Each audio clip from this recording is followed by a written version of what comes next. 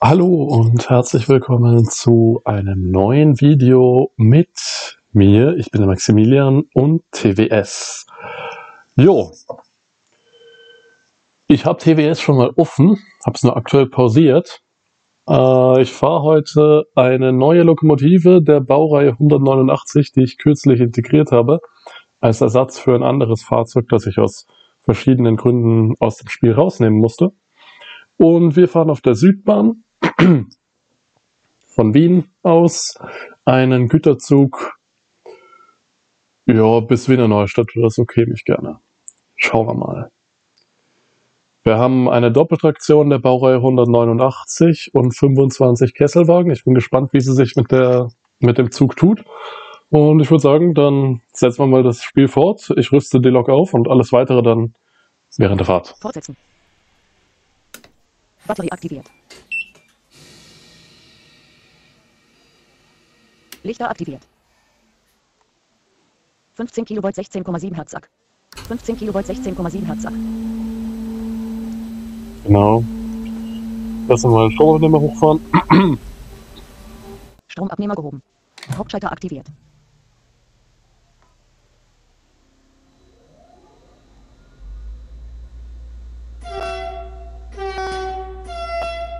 Spiegel ausgefahren. Spiegel eingefahren.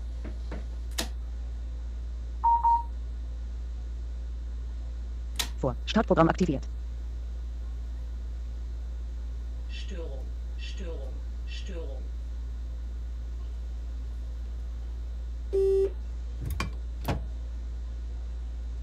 Fehlerspeicher gelöst. So, ja, die Lok ist mal soweit da. Genau, wir stehen hier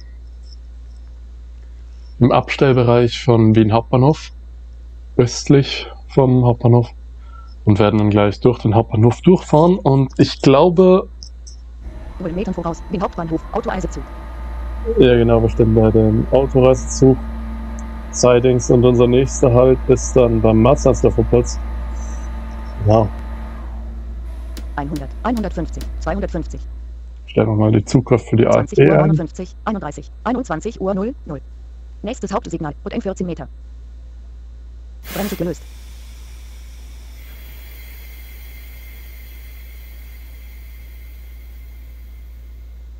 Bremse angelegt. Bremse gelöst. So, dann machen wir noch einen PZB-Test. Bremse angelegt. Zwangsbremsung, Zwangsbremsung, Zwangsbremsung, Zwangsbremsung. Bremse gelöst. Gut, das funktioniert. Und die SIFA testen wir auch noch. Das wird jetzt ein bisschen dauern. Die läuft jetzt nämlich mal so 30 Sekunden den Timer durch und dann legt sie die Bremsen an. Aber unser Signal ist aktuell ohnehin noch. Nächstes Hauptsignal. Grün in 14 Meter. Ah, mittlerweile ist es grün. Okay, gut zu wissen. Vorher war es noch rot. Aber die paar Sekunden haben wir noch. Bis er dann durchgelaufen ist.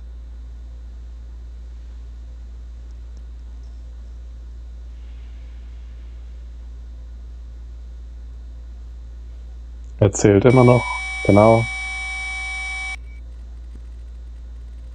SIFA, Zwangsbremsung, SIFA, Zwangsbremsung, SIFA, Zwangsbremsung, SIFA, Z- Bremse gelöst. Gut. Das wär's. Dann würde ich sagen, Die erlaubte Fahrgeschwindigkeit beträgt 100 Kilometer pro Stunde. fahren wir mal los. Nächstes Hauptsignal. Grün. 1290 Metern voraus. Wienertslandsdorf, Latzenburg, Siedis. Genau, nächster Halt ist bei Matzlandsdorf. 5 Kilometer pro Stunde. 45 Kilometer pro Stunde. AFB aktiviert. 70 Kilometer pro Stunde. Geschwindigkeitsänderung auf 80 Kilometer pro Stunde in 452 Metern voraus. 75 Kilometer pro Stunde. 80 Kilometer pro Stunde. Nächstes Hauptsignal. Grün 1041 Meter. Zugbeeinflussung, 19. Zugbeeinflussung, Geschwindigkeitsbegrenzung von 80 Kilometer pro Stunde in 400 Metern voraus. Nächstes Hauptsignal. Grün. Fortsetzen. Pause. Lautstärke der Sounds. 90. Fortsetzen. Pause. Lautstärke der Sounds. 85. Fortsetzen. Pause. Lautstärke der Sounds. 80. Fortsetzen. Okay, ich wollte jetzt eigentlich gerade das Spiel leiser drehen, aber das funktioniert irgendwie nicht richtig. 27. 28. 30. Ja, man hört, er quält sich ein bisschen.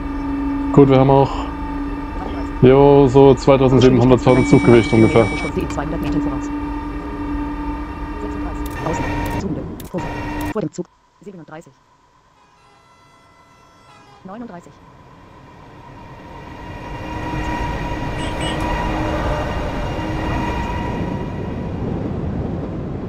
Die erlaubte Fahrgeschwindigkeit beträgt 80 km pro Stunde.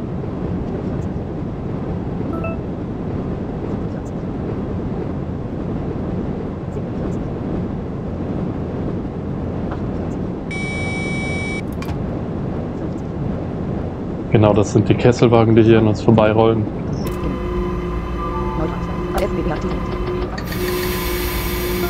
Und wir dürfen schon wieder bremsen. Für unseren Halt an den Abstellgleisen bei Matzlandsdorf. 47.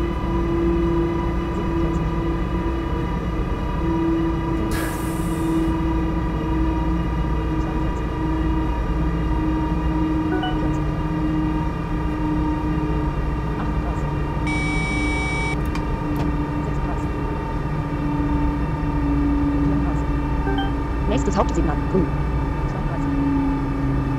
30. Nächstes Hauptsignal. Grün in 162 mit 28. 26. 24. 22. 19.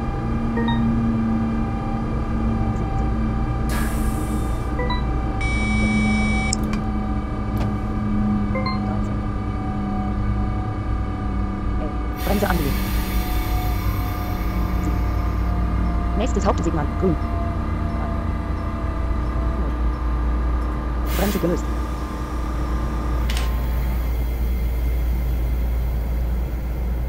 So, da stehen wir. Die nächste Station. Geschwindigkeitsänderung auf Für den 120 Güterzug? pro Stunde in 4200. Ja, okay. 50.494 Metern voraus. Wiener Neustadt Hauptbahnhof Siedlungsgut 700. Ist dann die Gleisgruppe 700 in Wiener Neustadt. Genau. Das heißt, wir haben noch ein ganzes Stück vor uns tatsächlich. 21 Uhr 4, 13. 21 Uhr 8, 0. Jetzt haben wir hier aber erst noch vier Minuten Standzeit. Hm, was kann man in den vier Minuten so erzählen? Also, erstens mal, die 189er gehört, wie man vielleicht vom Geräusch her ein bisschen erkennt, zur gleichen Familie wie die ÖBB 1216, auch bekannt als DB Baureihe 183. Ähm, das ist die Eurosprinter-Familie. Gebaut von Siemens, Anfang der 2000er. Gibt ungefähr 150 Stück. Höchstgeschwindigkeit von 140 km/h. Leistung von 6400 Kilowatt, also knapp 9700 PS. Vier Stromsysteme, die in Europa üblichen vier, also anderthalb und drei Kilovolt Gleichspannung. 15 Kilovolt bei 16,7 Hertz und 25 Kilovolt bei 50 Hertz Wechselspannung. Jo. Genau, eben 140 km/h Höchstgeschwindigkeit, wobei es da ursprünglich eine Option gab, die Lok mit einem Getriebe für 230 km/h ausrüsten zu lassen. Das wurde aber von niemandem bestellt. Dann wäre sie eigentlich ziemlich identisch zur 1216 gewesen mit ein bisschen einer anderen elektrischen Ausstattung. Aber ja, vom Antrieb her wäre es fast das gleiche gewesen, auch in Hohlwellen dann, soweit ich weiß. Das ist jetzt ein Tatzlager.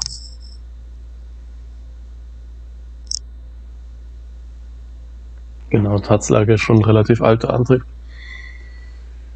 Er hat früher immer ein relativ charakteristisches Geräusch gehabt. Bei älteren Triebwagen, wie beispielsweise der ÖBB 4020 oder der DB Baureihe 420 oder auch den alten Baureihen der S-Bahn Berlin 480, 485 und so, da hat man ja immer so ein Brummen gehört beim Anfahren, das dann immer höher wird. Das war der Tatzlagerantrieb. Schräg verzahnt, üblicherweise bei manchen ganz alten auch noch gerade verzahnt, dann war er besonders laut. Die hat den auch, aber deutlich moderner und macht deshalb lang nicht so einen Lärm. Im Vergleich dazu beim Hohlwellenantrieb hat meine Welle, die das Geräusch über, also die die Kraft überträgt, die ist sinngemäß auch hohl und klingt natürlich dementsprechend ganz anders. Beziehungsweise es gibt dann noch die Gummiringantriebe, da hast du im Prinzip einen Keilriemen. Am einen Ende hängt der Motor drin mit einem Getriebe und treibt das Ende vom Gummiriemen an. Und dieser Ring läuft dann eben weiter und wie der Keilriemen beim Auto, treibt dann das Achsgetriebe oder die Achse direkt an, je nach Bauart. Genau. Gibt es auch als Gummering-Federantrieb, da sind noch viele Elemente eingebaut. Also ja, gibt es die verschiedensten Antriebe. Bombardier hatte den integrierten Gesamtantrieb früher, der noch aus der Adtranszeit war. Das war im Prinzip das an der Achse, der Motor direkt montiert war und so, auch mit Tatzlager. Und dass du das ganze Ding tauschen konntest mit ein paar Anschlüssen und die Lok daher relativ schnell wieder fit gemacht werden konnte, wenn sie einen Motorschaden oder so hatte. Oder einen Getriebeschaden. Ganz praktisch. Ist heute auch ein allgemein angewendetes Konzept, dass man die Motoren relativ gut tauschen kann. War damals halt was Besonderes bei den TRAXX Loks der Baureihe 146.0 und 185.0 wurde das erste Mal in große Serie bei einer neuen Lokfamilie eingebaut. Aber überhaupt der erste Einbau, soweit ich weiß, in einer Serienlok war die 145, wenn ich mich richtig erinnere, der Deutschen Bahn. Ja, kann man auch als Vorläufer der Trucks sehen. Genau. So. Später haben wir 21 Uhr 7, 53. Gut.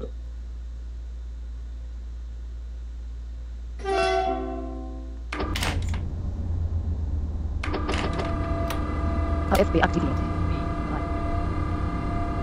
Dann lass mal wieder fahren, würde ich sagen. Nächstes Hauptsignal, in 77 Meter.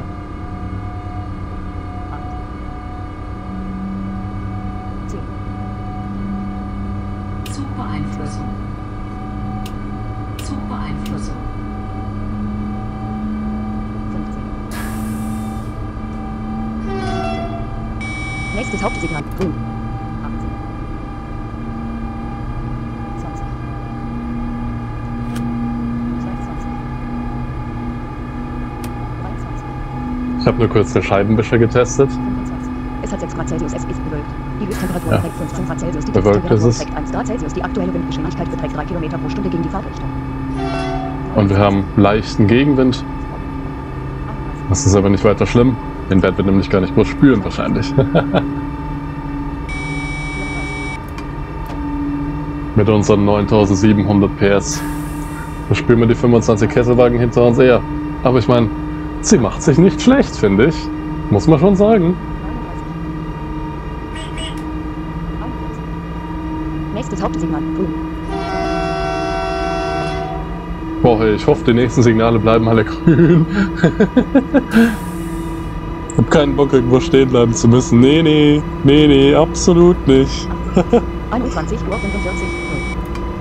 Um 21.45 Uhr soll man wieder Neustadt sein. Das sollte sich ausgehen, je nachdem, wie lange wir hier jetzt zum Hochbeschleunigen brauchen. Das sind knappe 50 Kilometer.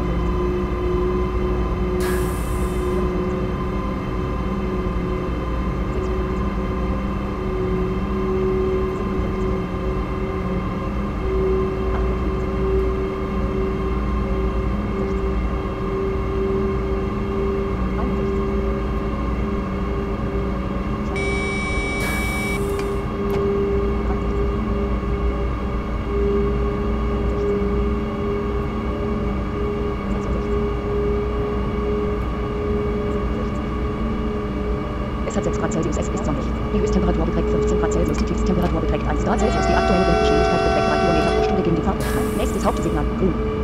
Sonnig sogar, schön. Vor dem Zug 74.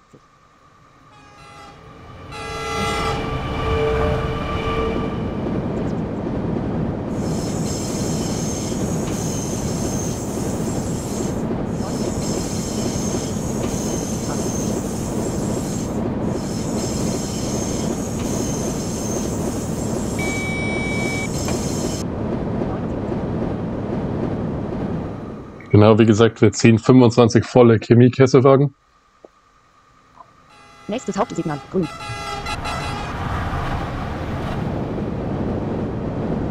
Ungefähr 100 Tonnen das Stück.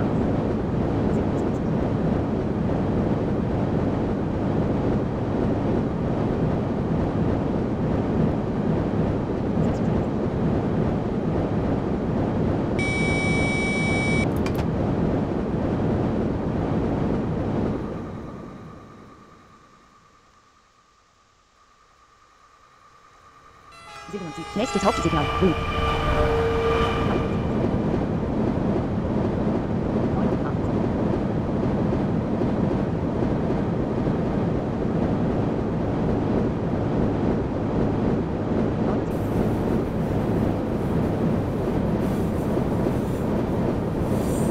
Nächstes Hauptsignal. Grün. Gut, wenn das nächste Signal jetzt irgendwas anderes als grün Nächstes gewesen wäre, dann hätten wir auch ein Problem gehabt. Weil schnell mal anhalten ist mit so einem Zugverband nicht.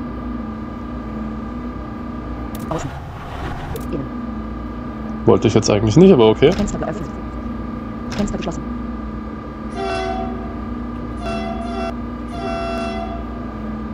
Genau, da fahren wir jetzt dahin.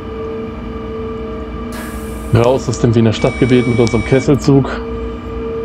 Das ist übrigens gar nicht so unrealistisch, dass hier ein Kesselzug fährt tatsächlich. Ähm, Im Osten von Wien in Richtung Schwächert liegt eine Raffinerie, die einzige, die Österreich hat.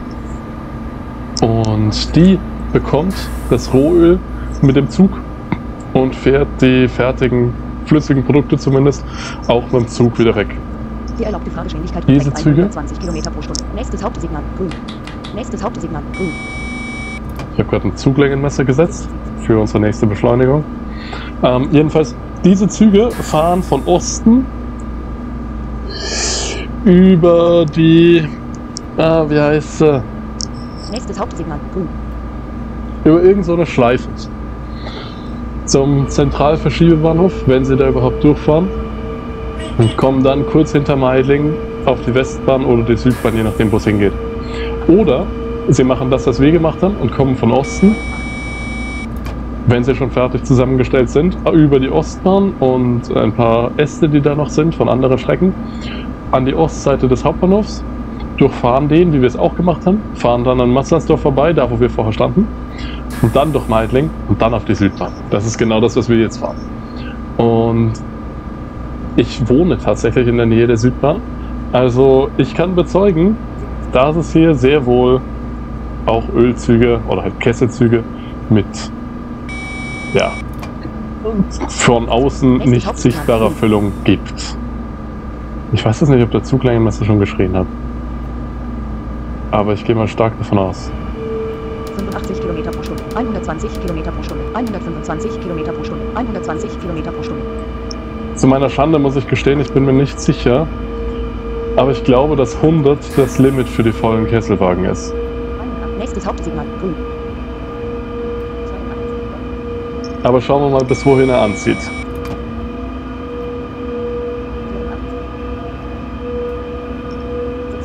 Nächstes Hauptsignal. Grün in 728 Meter. Genau wie vielleicht auch aufgefallen ist im Vergleich zu früheren Videos. Es gibt deutlich mehr Signale mittlerweile. Mir war das nämlich ein bisschen zu blöd, dass man ewig lang dahin fahren konnte, ohne dass irgendein Signal kommt. Deswegen habe ich dann mal gesagt, okay, jetzt programmierst du das ein, dass mehr Signale gesetzt werden. Und das habe ich dann gemacht. Und genau, deswegen gibt es jetzt deutlich mehr Signale als früher.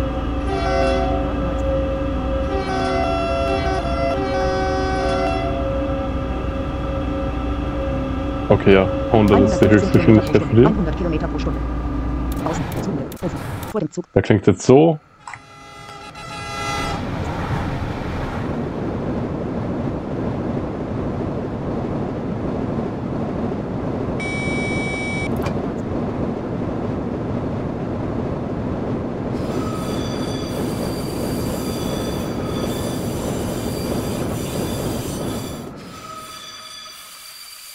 Nächstes Hauptsignal. Grün.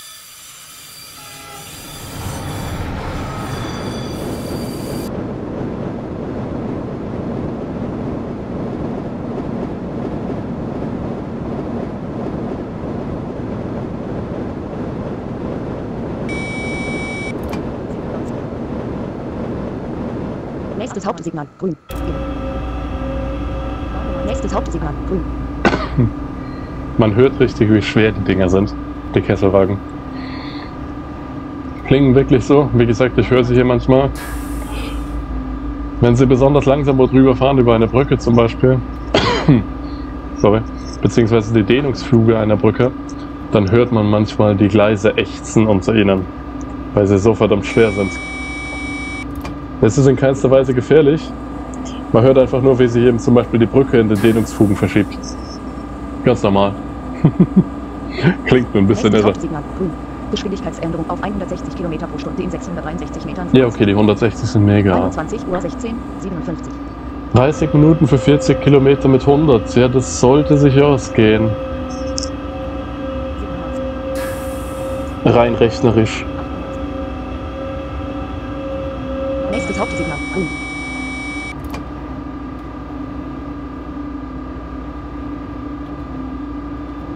Die erlaubte Fahrgeschwindigkeit beträgt 160 km pro Stunde. Klimaanlage aktiviert. 98. Es hat 6 Grad Celsius, es ist sonnig.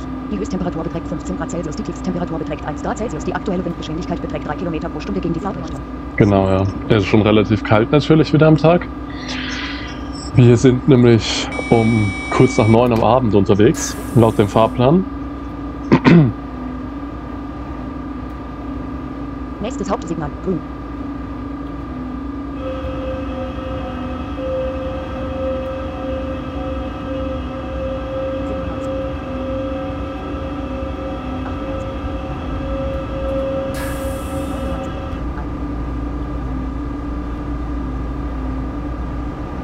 Nächstes Hauptsignal. Grün.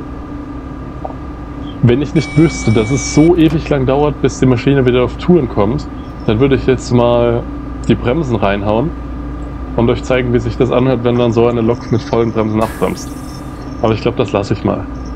Könnt ihr dann, wenn das Spiel mal veröffentlicht ist, selber ausprobieren. 97.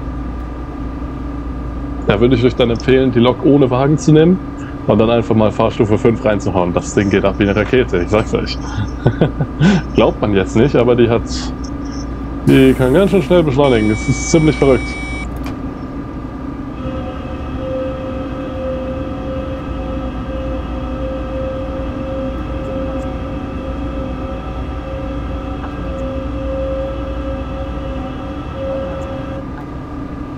Mein Taurus, also ihr direkter Verwandter eigentlich, schafft sie auch von 0 auf 230 in unter zwei Minuten. Also von dem her. Grün. trotzdem ziemlich verrückt.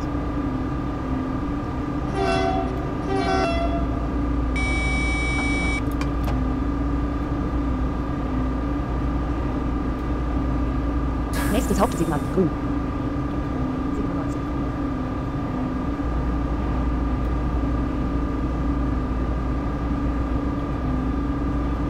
Sechsundneunzig. Ja, hier die Südbahn ist ja irgendwie auch interessant. Also ich meine, ja, die Geschichte ist das eine, das könnt ihr aber alles auf Wiki nachlesen. Aber eine Sache, die man nicht so weiß, auch wenn sie mittlerweile auch auf Wiki steht, die Südbahn hier, die Strecke, die wir jetzt fahren, wurde früher im Linksverkehr betrieben. Wie das in Österreich zu K&K-Zeiten üblich war. Also zu Kaiserreich-Zeiten. Franz Josef und so. Kennt ihr sicher alle. Ähm, jedenfalls zu der Zeit wurden halt viele Bahnen gebaut, unter anderem eben die Südbahn unter der, unter der gleichnamigen Gesellschaft. Dann die Kaiserin Elisabeth-Bahn, das ist die heutige Alte Westbahn. Die Franz-Josef-Bahn, die heißt immer noch so. Und noch ein paar andere. Und da war eben üblich, dass im Linksverkehr gefahren wird, wie damals auch im Straßenverkehr in der, in der Habsburger Monarchie. Der Rechtsverkehr kam da erst später. Bei der Bahn hat sich das relativ lang gehalten, tatsächlich auf so manchen Strecken. Also die Franz-Josefs-Bahn zum Beispiel wird heute immer noch im Linksverkehr betrieben, soweit mir das bewusst ist. Ich war jetzt seit drei Jahren nicht mehr dort, aber vor drei Jahren ist sie noch im Linksverkehr gefahren. 99. Ähm, die Südbahn haben sie 2012, glaube ich, oder 2011, haben sie sie umgestellt, als sie sich mit der Westbahn vom Leinzer Tunnel kurz vor Meidling getroffen hat. Die Neubaustrecke der Westbahn wurde nämlich sehr wohl im Rechtsverkehr befahren, ebenso wie die alte Westbahn zu der Zeit. Und da haben sie die Südbahn eben umgestellt, damit sie sich ein Überwerfungsbauwerk sparen. Ziemlicher Aufwand für Ja, man kann sich drum streiten, wie viel sind, weil die Südbahn ist nur bis Peierbach-Reichenau umgestellt, soweit ich weiß, noch nicht weiter. Peierbach-Reichenau ist der südlichste Bahnhof in, also vom Semmering. Über den Semmering könnten wir auch fahren, aber dann wird das Video viel zu lang. Machen wir das mal nicht. Mache ich vielleicht mal mit einem Regionalzug. Dass ich den R91 von Peierbach bis nach mit Zuschlag abfahre.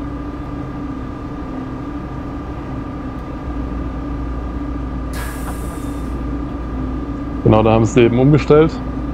Das heißt, sie mussten alle Signale neu ausstatten, die Distanzschilder für Vorsignale neu aufstellen und ja, neue PCB-Magneten legen. Aber es hat den Vorteil, dass, soweit ich weiß, ein ganz großer Teil der umgestellten Strecke für den signalisierten Betrieb im Gegengleis fertig ist. Das bedeutet, dass ein Zug im Fall des Falls sehr wohl auch im Gegengleis verkehren darf. Mit Signalen. Also das, das ist heutzutage Standard bei neuen Strecken, dass man das teilweise so macht. Aber früher war das nicht so. Und gerade wenn Signalisierungen wo nachgerüstet wurden, zum Beispiel PZB oder davor noch die Indusi, dann hat man das oft nicht gemacht, weil es einfach viel teurer ist. Du musst ja jedes Signal dann aus beiden Richtungen mit Magneten ausstatten, aus beiden Richtungen mit Fahrstraßen ausstatten, aus beiden Richtungen ins Stellwerk einbinden und aus beiden Richtungen schaltbar machen. Also alles doppelt. Bis auf die Signallampen selber. Aber naja, eigentlich sogar die teilweise. Also von dem her, jo. Je nach Aufstellort musstest du 96. die Signallampen halt auch in die andere Richtung strahlen lassen. Oder ein Signal nachher aber aufstellen, damit das Signal sichtbar ist, wenn zum Beispiel eine Kurve in Anführungszeichen hinter dem Signal ist. Sodass du es nur von einer Seite sehen kannst. 97. Also richtig viel Arbeit, 98. aber auch für große Vorteile. Weil dann konntest du zum Beispiel relativ einfach, wenn das Regelgleis gesperrt war. Regelgleis ist immer das, auf dem die Züge in diese Richtung normalerweise verkehren. 98. Konntest du sie immer auf das Nicht-Regelgleis oder das Gegengleis schicken. Und da dann die, keine Ahnung, anderthalb, zwei Kilometer bis zur nächsten Überleitstelle oder wie viel auch immer es dann sind, vielleicht auch 10 oder 20, fahren lassen und sie dann wieder aufs Regelgleis holen. 97. Relativ praktisch, eigentlich. Nächstes Hauptsignal. Grün. Jo, ich weiß. Und ich bin froh drum. so. 30 Kilometer noch bis Wiener Neustadt. 21 Uhr 24. 19. Okay, ja. Das äh, könnte sich ausgehen. Vielleicht. bin mir nicht so sicher. 99.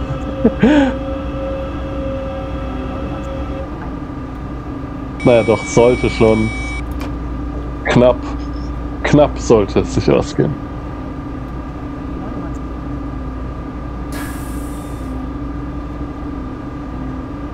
Bin ich gespannt. Wahrscheinlich kommen wir dann entweder genau pünktlich oder ein paar Minuten später. Je nachdem, wie lange das Bremsen dann dauert. Und äh, wenn wir keine Zwangsbremsung haben am Weg. Das wäre auch ganz praktisch. Weil mit dem Zug, wenn du einmal stehst, brauchst du lang, um wieder loszukommen. Ganz lang. Und wir haben 2500 Tonnen allein an Wagen hinten dran. Plus zweimal die Loks mit je rund 86 Tonnen. Also, jo, das ist nicht wenig. Wir haben zwar mit unserer Doppeltraktion noch 19.400 PS ungefähr und 600 Kilonewton Zugkraft. Das ist ungefähr die Kraft, die man braucht, um, boah, wie rechnen wir das am besten? Ja, um 60 Tonnen in einer geraden Linie vom Boden anzuheben. Die Kraft haben diese zwei Lokomotiven und befördern damit den 2500 Tonnen Zug hinter uns. Also, ja. Auf der Semmering-Rampe würden die auch ordentlich schaffen müssen. Da bräuchte man eh eine Hilfslokomotive wegen dem Zuggewicht. Die wird sich vorne noch dran setzen und beim Anziehen helfen, damit, die, damit der Zug nicht irgendwo an einer Steilrampe hängen bleibt und nicht mehr weiterkommt. Ja, genau. Oder man setzt einfach zwei F44er vor, die haben noch ungefähr 60 Kilometer mehr Zugkraft pro Lokomotive. Also Doppeltraktion F44, das wären dann so 720 Kilometer Zugkraft. Wir halten fest, die Dinger wurden 1976 in Auftrag gegeben und bis 95 gebaut. Also die Teile sind alt mittlerweile.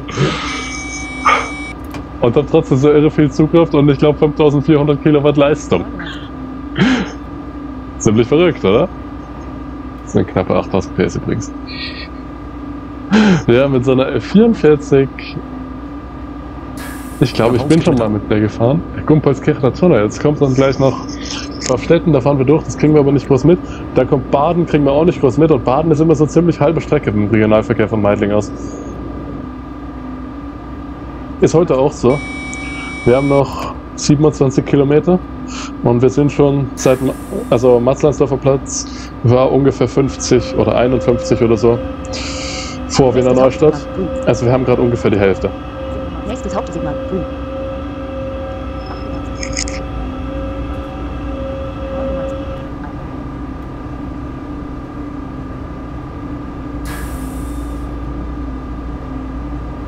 Nächstes Hauptsignal. Grün.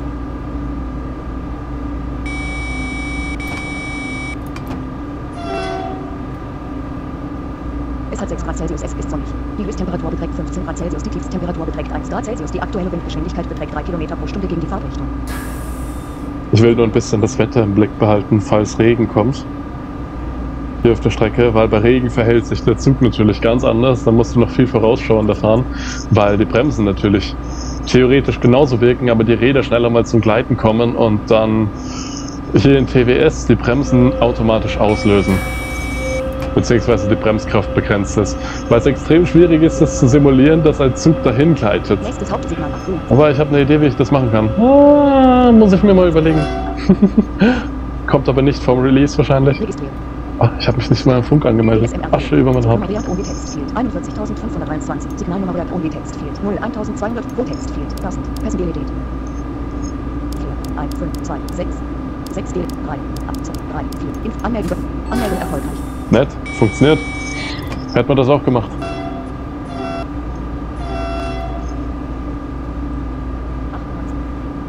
98. Notfall. Info. Zugnummer 41.523. Genau, Anmeldung hat funktioniert. Nächstes Hauptsignal. Grün. 97.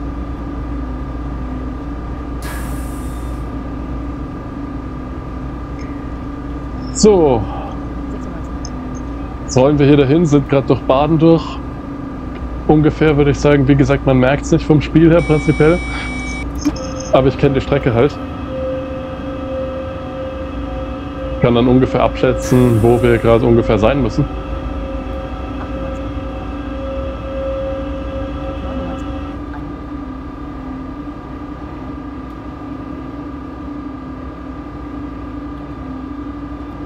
Nächstes Hauptsignal. Grün.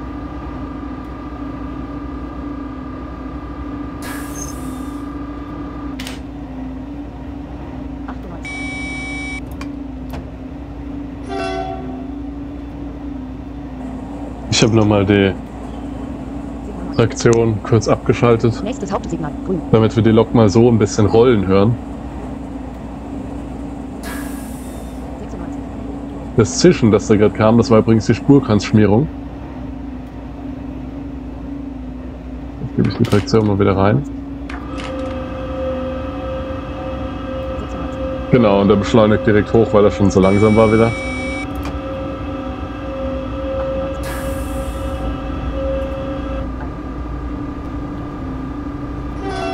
Genau, die Spurkranzschmierung, die, die schmiert den sogenannten Spurkranz. Das ist die, diese Erhebung an der Innenseite des Rades von einer Lok oder einem Wagen. Ähm, die halten den Zug auf, der, auf den Schienen. Und damit die in den Kurven nicht allzu viel Lärm machen, sie machen immer noch viel Lärm, aber trotzdem, ist erstens das Rad konisch profiliert. Das heißt, die, an der Außenseite hat das Rad einen geringeren Durchmesser als innen, so dass der Zug immer versucht, mittig auf dem Gleis zu fahren, ohne mit einem der Spurgrenze die Schienen zu berühren. In Kurven wird der Zug nach außen getragen durch die Zentrifugalkraft und erreicht mit dem äußeren Spurkranz die Schienen. Das hält ihn dann wieder in der Spur und in der Gerade pendelt er dann wieder zurück. Das ist die Physik, die da dahinter steckt. Spüren als Fahrgast, geschweige denn sehen, kann man das eigentlich nicht bewegen sich nämlich da im Millimeterbereich. Ähm, und die Spurgrenze werden eben geschmiert, damit es nicht ganz so viel Lärm machen. Das ist mit einem, also, wie ein kleinen Duschkopf, da wird Öl durchgepresst bemischt mit Luft und dieses fein zerstäubte Öl wird dann, also kommt dann eben auf den Spurkranz und schmiert dessen Seitenfläche. Nur die Seitenfläche vom Spurkranz, nicht die Lauffläche der Räder. Das wäre nämlich sehr kontraproduktiv, dann könnten die Räder nämlich keine Zugkraft oder nur ganz wenig Zugkraft auf die Schienen übertragen.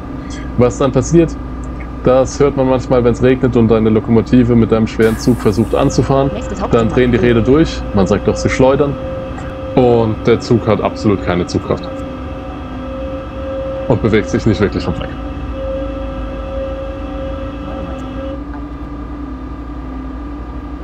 Beim Bremsen gibt es natürlich das umgekehrte Phänomen.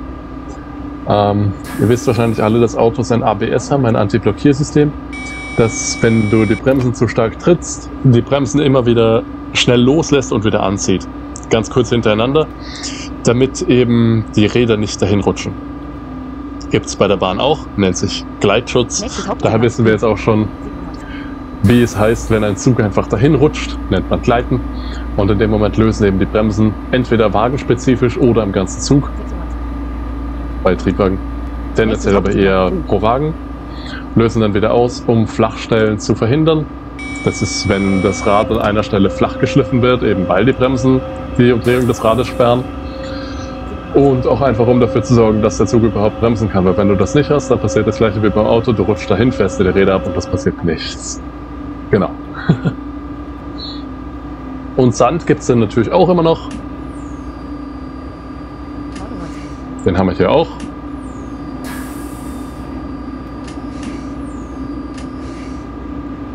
Der wird gestreut, wenn die Reibung zu gering ist, also eine Lok entweder nicht vom Fleck kommt oder nicht wirklich gut bremsen kann, zum Beispiel weil die Schienen nass oder eben ölig sind und erhöht die Reibung zwischen dem Metallrad und der Metallschiene.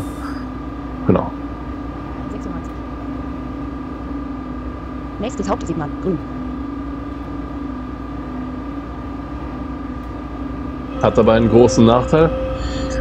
Auch, wobei man da mittlerweile schon versucht, Abhilfe zu schaffen, indem man Eisenspäne oder ähnliches beimischt. Sand ist ja nicht leitend. Und wenn du dann auf beiden Schienen Sand hast und die Lok durch Zufall gerade mit all ihren Rädern auf dem Sand steht, dann kann das Stellwerk unter Umständen nicht erkennen, dass sich dort eine Lok befindet.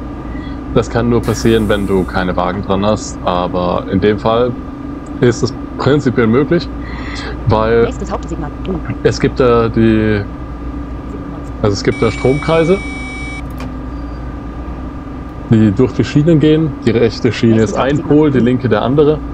Die Lokachse verbindet die und dann wird ein Kontakt geschlossen und der Gleisabschnitt wird als belegt angezeigt. Funktioniert eigentlich fast immer. Es sei denn natürlich, die Lok hat aus irgendeinem Grund keinen Metall auf Metall Kontakt zu den Rädern, was eben durch Sand passieren kann und auch durchaus schon passiert ist. Deswegen wird da eben, also werden da Eisenspäne beigemischt. Darfst du aber auch nicht zu viel dazugeben, weil ansonsten hast du keine Haftwirkung mehr, weil Eisen auf Eisenspänen auf Eisen ist ungefähr ähnlich blöd wie Eisen auf Eisen, da kannst du ja gleich sparen. Deswegen kommt halt ein bisschen was rein, um das eben, um da eben ein bisschen abzuhelfen. 21 Uhr 35, 15. 10 Minuten für 15 Kilometer. Oh, wow, wow, wow, wow. Das wird eng.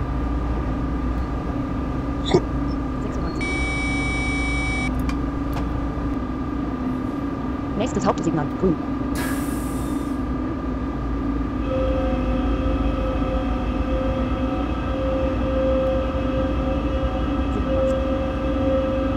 Nächstes Hauptsignal, grün.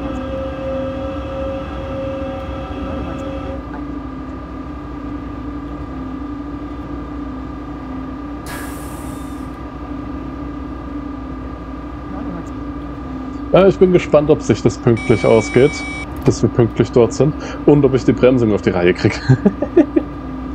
ich werde dann bei 5 Kilometern vor Wiener Neustadt die AFB rausnehmen und den Zug einfach rollen lassen, damit wir ein bisschen Geschwindigkeit verlieren, weil wir müssen ja nicht allzu viel Energie verschenken, wenn man so will.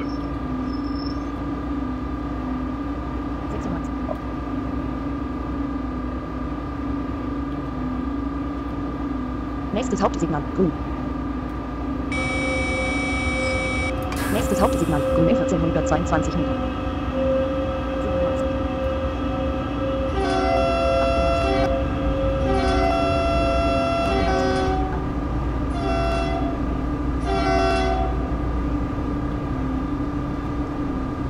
Nächstes Hauptsignal. Grün. 99. Jo, ich glaube, die Signale bis Wiener Neustadt bleiben grün. Das ist eh irgendwie klar. Wir sind ja langsamer mit 100 km/h. Hier sind 160 erlaubt. Geschwindigkeitsänderung auf 140 km pro Stunde in 9353 Metern voraus. Genau, das ändert sich auch erst kurz vor Wiener Neustadt in etwas unter 10 Kilometern. Da ist dann 140 erlaubt. Trifft uns nicht, weil eben wir fahren sowieso langsamer. Aber deswegen haben wir natürlich praktisch keinen Zug mehr vor uns, der vor uns abgefahren ist. Also von dem her ist klar, warum wir grüne Signale haben.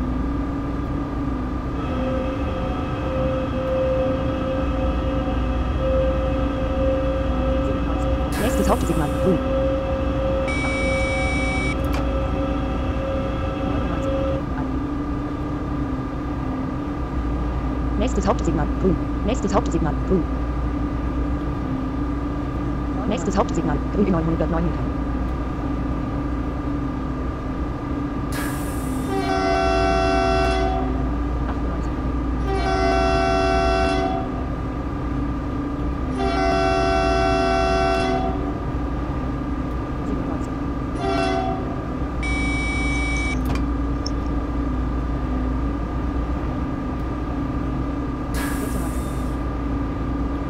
jetzt fahren wir hier dahin.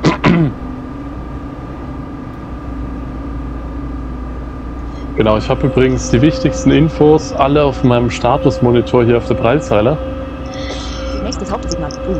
Da habe ich links die Geschwindigkeit, die aktuelle, dann die erlaubte Geschwindigkeit, die aktuelle Fahrstufe, die V-Soll, Nächstes Hauptsignal. Grün. also die Geschwindigkeit, die ich bei der automatischen Fahr- und Bremssteuerung eingestellt habe. Grün. Dann die Türsteuerung, die zeigt mir an, ob irgendwo die Türen offen sind. Und dann die Distanz zur nächsten Station. Das sind jetzt 10,7 Kilometer. Genau. Und daneben ist nichts. Bisher, da kommt vielleicht auch nochmal irgendwo was hin, aber mir fällt aktuell nichts ein, was so wichtig wäre, dass man es da noch hinsetzen müsste. Die wichtigsten Infos hat man eigentlich hier schon. So, 10,2 Kilometer 20 Uhr 39, 13. in 6 Minuten. Ich glaube, das kann man vergessen. 97.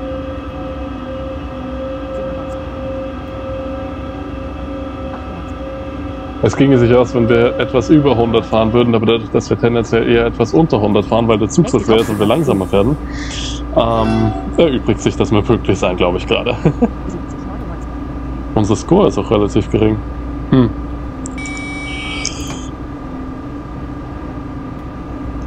Keine Ahnung. Nächstes Hauptsignal. Grün.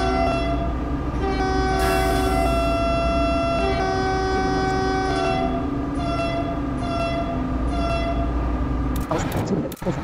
Vor dem Zug.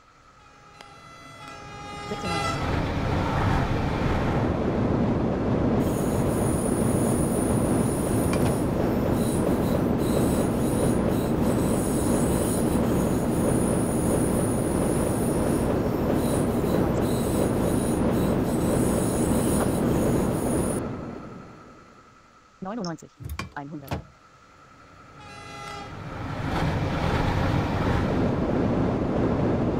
Nächstes Hauptsignal. Grün.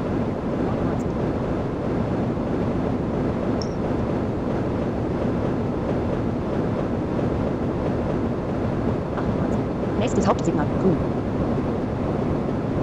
Nächstes Hauptsignal. Grün. 97. Eben.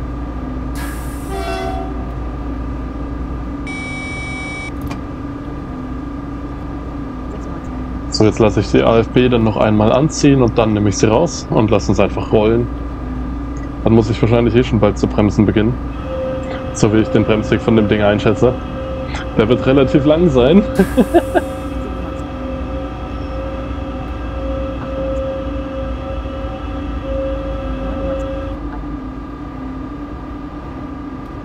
98. Ja. 7,1 Kilometer. Nächstes Hauptsignal. Grün. Schauen wir mal, wo er dann bei 5 ist. Vielleicht lasse ich ihn auch nochmal anziehen und gehe dann erst raus. 98. Er verliert schon recht schnell an Geschwindigkeit und dadurch, dass wir schon ein bisschen spät sind, haben wir nicht so viel Zeit. Sonst, wenn man viel Zeit hat, dann kann man eigentlich bei so einem schweren Güterzug bei 10 Kilometern vor der Station, wenn man so schnell ist, 96. fast schon die automatische Steuerung rausnehmen und den Zug einfach rollen lassen. Unter Umständen. Aber ja, wenn man ein bisschen Zeitdruck hat, wie wir jetzt, dann würde ich das nicht machen.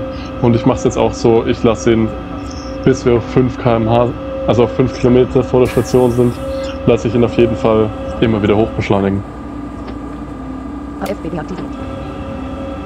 Ich hab die AFB jetzt rausgenommen. Pro Stunde in 2000 Metern vor uns. Und halte ihn selber auf 100 km/h. Geschwindigkeitsbegrenzung von 140 Kilometer pro Stunde in 1800 Metern vor uns. Geschwindigkeitsbegrenzung von 140 Kilometer pro Stunde in 1600 Metern vor uns. So, jetzt stelle ich auf 0, 5,3 Kilometer. Und jetzt lasse ich uns rollen. Geschwindigkeitsbegrenzung von 140 Kilometer pro Stunde in 1400 Metern vor uns. Nächstes Hauptsignal. Grün. Geschwindigkeitsbegrenzung. Ja, die Geschwindigkeitsbegrenzung interessiert uns nicht, weil da sind wir eh deutlich langsamer. Nämlich ein 140er. Geschwindigkeitsbegrenzung von 1. Und wir fahren gerade 96, genau. also, ja, von dem her ist uns die relativ wurscht. Geschwindigkeitsbegrenzung. 21 Uhr 43, 11. Okay, aber pünktliche Ankunft geht sich definitiv nicht aus. Never ever. Geschwindigkeitsbegrenzung. Schauen wir, wie viel wir dann zu spät sind. Ich glaube, es ist noch ganz okay. Vor allem für den Güterverkehr. Nächstes Hauptsignal. Grün. Geschwindigkeitsbegrenzung. Und wir sind beim Matzelsdorfer Platz auch ein bisschen zu spät weggekommen. Ich glaube, wir waren eine Minute später dran dann im Endeffekt. Deswegen, ja. Geschwindigkeitsbegrenzung.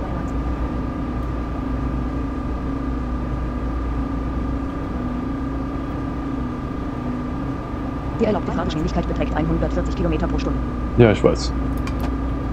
Nächstes Hauptsignal. Grün. Geschwindigkeitsbegrenzung von 120 Kilometer pro Stunde in 800 Metern vor uns. Ja, auch die ist uns wurscht, weil so schnell können wir eben nicht mal. Außerdem sind wir mittlerweile auf 9 Sekunden. Geschwindigkeitsbegrenzung von 120. Ich drücke es jetzt einfach weg bei den Geschwindigkeitsansagen, ja. Das nervt uns ein bisschen. 88. Mit Steuerung geht das wie üblich. Nebenbei drücke ich auch die SIFA immer mal wieder, weil jetzt eine Zwangsbremsung wäre einfach nur blöd. Drei Kilometer vom Endbahnhof. Es sollte jetzt auch bald das Signal kommen, dass ich abbremsen muss. Die erlaubte Fahrgeschwindigkeit beträgt 120 Kilometer pro Stunde. Nächstes Hauptsignal. Grün. Geschwindigkeitsbegrenzung von 100 Kilometer pro Stunde in 400 Metern. Ja, okay, auch die ist uns wurscht, weil wir fahren schon Nächstes Hauptsignal. Grün. nur noch 84. Also, Geschwindigkeitsbegrenzung von 100 Kilometer pro Stunde in 200 Metern vor uns. das war der 2500 Meter zur Station Ton. Die erlaubte Fahrgeschwindigkeit beträgt 100 Wir rollen gleich durch den Hauptbahnhof in Wiener Neustadt. Stunde.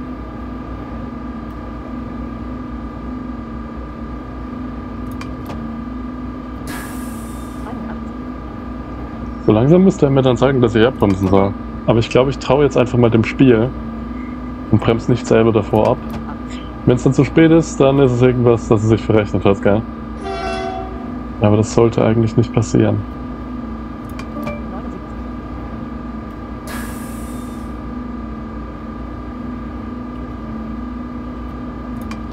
Die erlaubte Fahrgeschwindigkeit beträgt 150 Kilometer pro Stunde. Ja, und wir sind durch Wiener Neustadt durch, durch den Hauptbahnhof. 77. Nächstes Hauptsignal. Grün.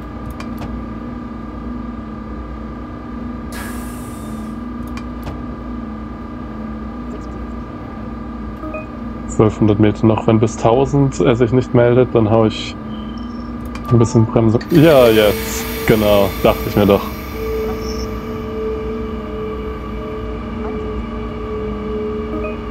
Nächstes Hauptsignal. Grün. 67. 67. Die erlaubte Fahrgeschwindigkeit beträgt 160 Kilometer pro Stunde. 59. Erstes Hauptsignal. Grün in 715 Meter. Okay, das ist das Ausfahrsignal für die Gleisgruppe 700. Das heißt, wir haben keine Signale mehr zu befürchten. Finde ich ganz gut. Muss mich nämlich jetzt eh ein bisschen konzentrieren, nicht zu früh und nicht zu spät anzuhalten.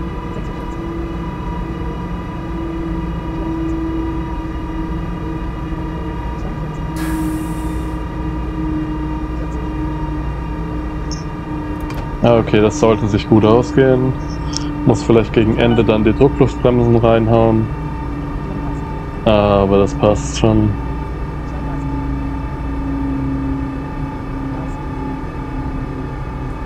27.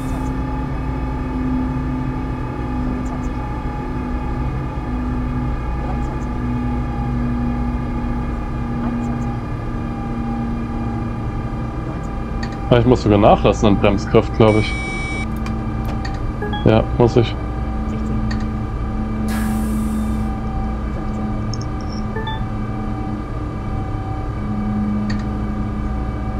14.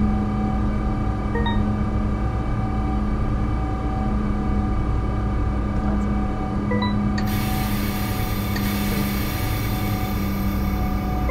12.